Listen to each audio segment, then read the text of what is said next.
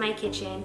My name is Alana Yazzie and I'm the creator and founder of thefancynavajo.com which is a lifestyle and food blog that follows along my life as a contemporary Diné woman living here in the city. I hope you guys are doing well wherever you may be watching this. If you aren't already following me on my social media channels, definitely give me a follow at The Fancy Navajo on Instagram and at The Fancy Navajo blog on Facebook. So let's go ahead and get started. Grab your favorite apron and let's get cooking. So the first recipe we're going to make today is fancy blue corn pumpkin pancakes. So the ingredients you'll be needing for this recipe are quite simple. You probably already have all of these on hand already. So the first ingredient that you're going to need is blue cornmeal. You're going to need half a cup of roasted blue cornmeal, as well as half a cup of rolled oats. We're gonna be making our own oat flour, so stay tuned where I show you how to make that. You're also going to need a quarter cup of all-purpose flour, as well as one cup of milk. You can substitute this with non-dairy alternatives such as almond milk, coconut milk, um, whatever you have on hand. So you're also going to need half a teaspoon of baking soda as well as a quarter teaspoon of salt, one tablespoon of maple syrup, four tablespoons of pumpkin puree, uh, preferably pure pumpkin puree. However, we're living in some crazy times right now, so if you can't find pure pumpkin puree, you can also use the uh, pumpkin pie uh, puree as well, which is what I actually am using here today. Um, you'll also need one large egg as well as pumpkin pie spice. So if you were unable to find pure pumpkin puree, um, you're going to need the spice. However, if you are using the pumpkin pie filling, then you do not need the pumpkin spice. And if you don't really enjoy pumpkin spice, you can exclude this uh, from the recipe as well. However, I love pumpkin spice, especially during the fall time. I get really excited about anything pumpkin spice. So for this recipe, we're gonna be making our own oat flour. And if you've never had oat flour, it's super easy to make. I like trying new ingredients as well as incorporating more nutritional ingredients into everyday foods that I eat. So instead of using a full all-purpose flour, we're going to add a little bit of more nutritional value to these pancakes by making our own oat flour. And it's super simple, super easy. All you're going to need are some rolled oats. And essentially what we're going to be doing is blending these up in a blender until it turns into a flour-like consistency. If you don't have the extra time to do this, you can also purchase oat flour at your local grocery stores. So to make my oat flour, I like using my Magic Bullet. It's a little blender that I can blend up things quickly. And all you're going to do is scoop in your rolled oats and you're going to blend it for about uh, 60 seconds or less until you get a flour-like consistency.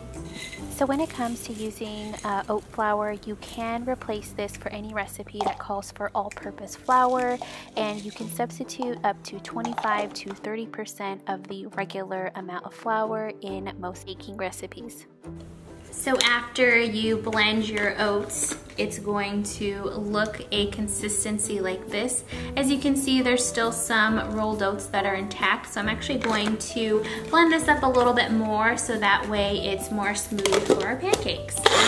All of the oats are now um, in a flour-like consistency. There's still just a tiny bit of the full oats, but that's okay. I like the little added texture to my pancakes. So let's go ahead and start mixing all of our ingredients.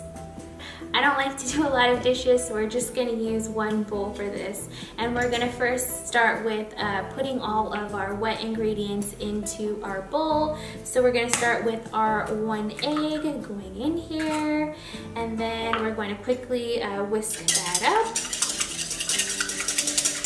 And then we're gonna go ahead and add in our pumpkin puree. This is a pumpkin pie puree, so the spices are already in there. So we're just gonna scoop out all that yummy goodness. Don't forget to mention that some of you may be growing your own pumpkins at home. Um, and if you do, you can certainly use your own fresh pumpkin puree as well. That would be the fanciest option. I didn't grow any pumpkins in my garden this year. Next year, I definitely want to grow more. So let's also go ahead and add in our maple syrup. And I love maple syrup. And for this recipe, this is the only sugar that we're going to be adding um, to this recipe as well. I like using uh, maple syrup just because it's so yummy and it's so delicious. So we're gonna go ahead and give that a little mix and we're gonna add in our blue corn as well as our flour and our oat flour and lastly, our milk. So let's go ahead and add all of that in and give it a good mix. Oops, we also can't forget our baking soda and our salt. So we're just gonna add all that in and we're going to give it a light mix. So when it comes to pancake batter, you don't want to mix it too much. You don't want to overwork the batter. We're gonna go ahead and let this sit for about 10 minutes while we get our griddle ready to start making our blue corn pumpkin pancakes. So now that we have let our batter sit, we're gonna go ahead and make our pancakes. And one thing I forgot to mention is if you feel like your batter is too thick or thin, you can go ahead and either add in more uh, milk or add in more flour to make it thicker or thinner thinner. I personally like my pancakes to be a little bit on the thinner side, so your batter should look a little bit thin for this recipe.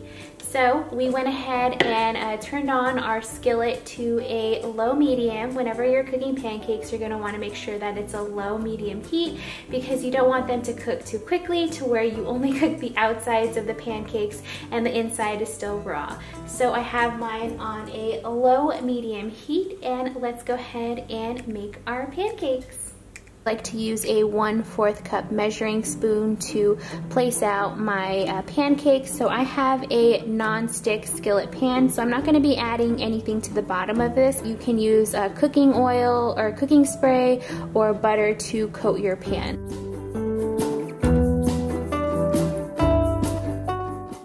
So for the purpose of this cooking demonstration, I'm only making one pancake at a time. However, you can make multiple on a larger pan or skillet.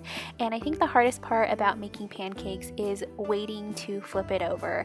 I always want to flip them over immediately, but you want to wait until all the bubbles start to form on the top before flipping it over. Looks ready to flip over and voila, there you go. You have a fancy blue corn pumpkin pancake. So I wish there was a smell button because it smells wonderfully delicious right now. It smells like fall and I'm going to go ahead and get my toppings ready for my pancakes. I like using uh, pine nuts because it reminds me of growing up in the southwest where we have a lot of pinon nuts so this is similar to it but you can also use any type of nut such as pecans or walnuts. They all taste delicious. Here's my favorite part of pancakes. It is the warm maple syrup. Today I'm using Ojibwe Dynamite Hills maple syrup and it is so yummy and delicious. If you haven't had pure maple syrup, you are missing out and I'm just topping it here with the roasted pine nuts.